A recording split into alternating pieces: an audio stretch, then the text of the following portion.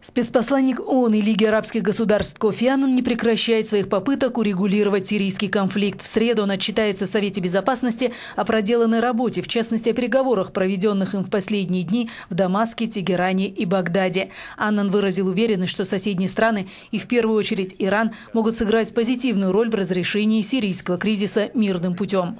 Я обсудил с лидерами этих стран необходимость сделать все возможное для прекращения насилия. Это нужно не только в интересах народа Сирии, но и для того, чтобы конфликт не распространился за границы этой страны.